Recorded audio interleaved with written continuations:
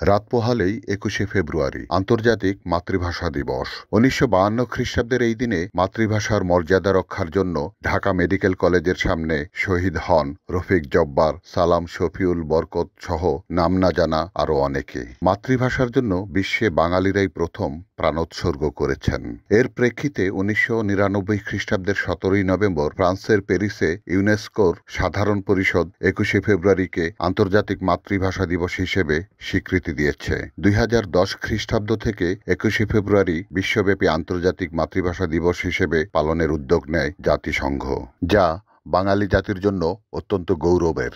নারায়ণগঞ্জ কেন্দ্রীয় শহীদ মিনার প্রাঙ্গণে আলপনায় রং তুলির শেষ আচর দিচ্ছেন নারায়ণগঞ্জ চারুকলা ইনস্টিটিউটের ছাত্রছাত্রীরা। বারোটা এক মিনিটে শহীদ বেদিতে প্রথম পুষ্পস্তবক অর্পণ করবেন নারায়ণগঞ্জ জেলা প্রশাসক মোহাম্মদ মাহমুদুল হক।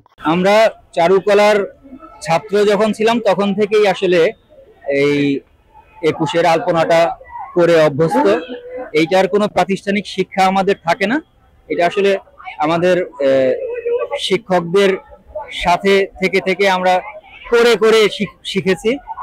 পরবর্তীতে যখন আমরা চাকরি সুবাদে নানান জায়গায় গিয়েছি, তখন আসলে নিজেদের তাগিদেই ওই জায়গাগুলিতে এই আলপনা করাটা শুরু করি আমরা। সেইটারই ধারাবাহিকতায় আমি এই দুই হাজার চার থেকে নারায়ণগঞ্জে, নারায়ণগঞ্জ চারুকলা ইনস্টিটিউটে শিক্ষকতা করছি। প্রতি বছরে নারায়ণগঞ্জ চারুকলা ইনস্টিটিউট কেন্দ্রীয় শহীদ মিনারকে রাঙিয়ে থাকে তাদের রং তুলির মাধ্যমে। আমরা দু একদিন আগে থেকে এটা প্রস্তুতি নিয়ে থাকি, কারণ এটা আমাদের দায়িত্বের মধ্যে পড়ে। যারা আমরা প্রাক্তন স্টুডেন্ট আছে তারা এবং বর্তমান স্টুডেন্ট মিলে সম্মিলিত ভাবে এই কাজটা করে থাকে। এর অর্থায়ন করে থাকে জেলা প্রশাসক এবং Narayanganj city corporation Narayanganj city corporation আমাদেরকে বিভিন্নভাবে সহযোগিতা করে পৃষ্ঠপোষকতা তার সাথে আমাদের ছাত্রদের ওতপ্রোতভাবে জড়িত থাকে একটা মাত্র কারণে যে শহরকে একটা বিভিন্ন জেলার কাছে প্রেজেন্টেশন করার জন্য। বিশেষ করে যে আহ, পথ আলপনা এবং শহীদ মিনারের কেন্দ্রিক আলপনাগুলোকে আহ, সকাল থেকে আমাদের ছাত্ররা এটার সাথে ইনভলভ থাকে।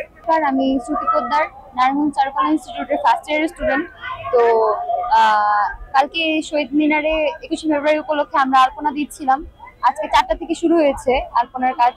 তো শহীদদের আসলে আমরা সম্মান ওভাবে দিতে পারব না। তো আমরা এই আলপনার মাধ্যমে আমাদের কাজের মাধ্যমে আমরা চেষ্টা করছি যাতে আমরা শহীদদেরকে একটু সম্মান দিতে পারি। তাদের তাদের শ্রদ্ধা জানানোর জন্য আমরা এই পরিশ্রমটি করছি। Shahjahan Chowdhury NN TV Narayanganj.